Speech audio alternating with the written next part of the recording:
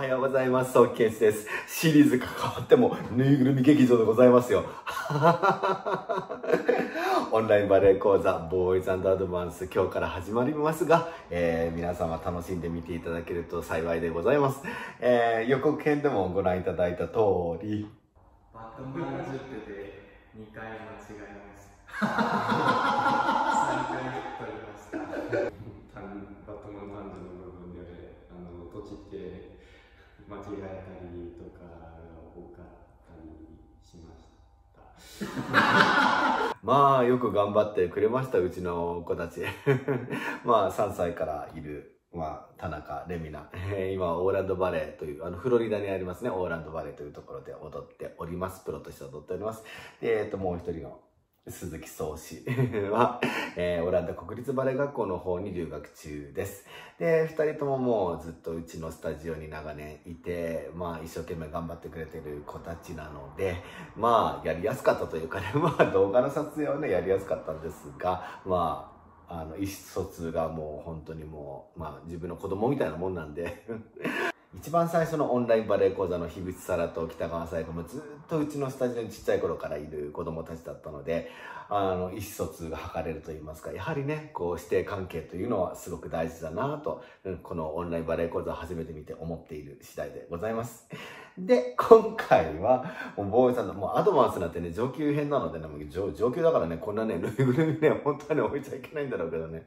あ堅苦しいの自分嫌いなんですよ。なんかこう、なんだろう、こう、教育番組みたいなね。なんか冗談の一つも何も飛ばさないな、こうなんか仏頂面で、なんかこう説明したってね、つまんないでしょ だから、まあ、こんな感じでね、気楽にできればいいななんて思って やっておりますが、えー内容は気楽ではございません。まあでも今日のね、あのまあレベランスは男の子は単純なんでいいんですけど、ウォームアップ、ウォームアップの説明はちょっとしますが、うん、説明するほどのことでもないのかなっていう感じはします。まあ単純で、うん、まあ、そんな別にアドバンスも何もないかな。ただ、えっと、初心者の方にはやってほしくない部分がちょっとずつあるので、その辺はちょっと、そうですね、説明したいと思います。まあ、前のオンラインバレエ講座と同じです。ちょっとスローモーションにして、私の声で解説をしたいと思いますので、ご覧ください。どうぞ。では解説しますが、レベランス早送り。イエーイ。これはね、別に説明する必要ないでしょう。男の子のレベランスって単純ですね。で、まあ、はい、どうもっていう感じで。はい、バーに着きました。さあ、ここからちょっとスローモーションにします。さあ、いつものアロンジへ。まあ、説明する必要ないか。バーンラバン。ね、これは前のオンラインバーで講座と同じです。さあ、次からです。足の5本の指をなるべく均等に折れるように、うん、だ親指だけとか、人差し指だけとか、まあ、だけではなく全部の指を折るように気をつけてください。で、ロールアップしてるんですけども骨盤の位置気をつけてください。タックとかダックになっちゃうと、ちょっと背骨ずれちゃうと思うので気をつけて。そして足の裏コントロールしながら膝の後ろを伸ばしながら、今かかと下ろしたの分かりますね。さあ、ポールとブラです。すごい重要です。さあ、肘横向いてるところからさあ、ここからが初心者の人真似してほしくないところです。はい。うん、この子たちのレベルで、まあ、こうやって背中を丸くしながらっていうのがなんとなくわかるかなって。プロはいいんです、これ。うん、ガチガチになって本番の後疲れちゃったこの背中をほぐす感じで、ね、やってるって意味もあるので。で、そしてこれ足開きます。外旋ロッキーの話はしなくていいね。さあ、次です。これです。これも初心者の人真似してほしくないです。これ膝曲がってない方の足見えますか？オフバランスっぽくなってるの分かりますよね。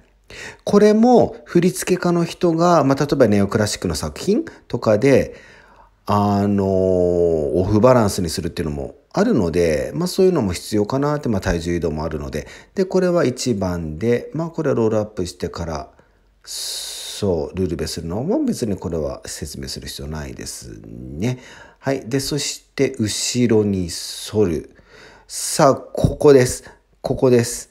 これね、後ろに反るんですけれども、例えば留学これからしようとしている、まあ、15歳以上ぐらいの男の子、身長が高ければ高いほど、あの、体格のいい、あの、ちょっとがっちりした女の子と組まされる可能性があります。ということはどういうことか。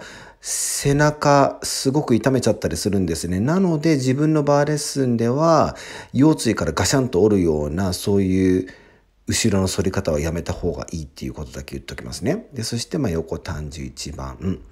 あの、彼はね、すごい班長室なので、今一番に言った時に、あの、間空いちゃってるでしょ？かかととかかとの間ね。これ本当にいけないんですよ。公開処刑しちゃった。まあでもそうなんですよ。やっちゃいけないんですよね。なるべく、あの、なるべくというか、あの、かかとはつけるように心がけてください。まあでも私が大客なのでね、あの、彼のような足ではないので、彼の苦しみはわかんないんですけどね。なんかね、あの、やっぱぶつかっちゃうんですって、足が。うん、なのでそうなっちゃう可能性。で、そして、はい、パスですね。で、これです。これ初心者の人やらないでください。やる必要ありません。やらないでください。やる必要全然ないです。うん、じゃあなんでやってるの？っていうことは、やっぱりこれも作品の一つとして、足をわざとインにするっていう、まあそういう動きも振り付けの中に入ったりするんですよ。あとはやっぱね、ターンアウトを知るためには、ターンインを知るべきっていう、まあそういう説もあるので、まあここではやっていると。で、そしてこれ横から前とか横から後ろってやってるんですが、さあこの形、プランクってやったこと皆さんありますよね。それと同じような状況が作れたりするんですよね。まあこのエクササイズすることによって。まあいずれにしても、まあこれフォーンジュってしてますよね。うん、もう片足のそのプリエが理解できてなかったらダメで、そしてターンアウトが理解できてるからターンインできる。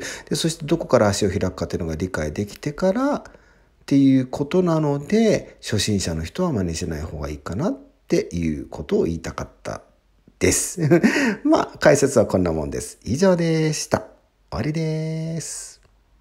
いかがでしたでしょうか？まあ、ね、あの、上級者向けのものでもあるので、そんなに説明はしませんでしたが、うんとにかく初心者の方がやっては欲しくないものもあるということを分かっていただければ嬉しいです。それでは次回は、えープリエ、プリエからスタートしますので、またご覧くださいということです。では、さようなら。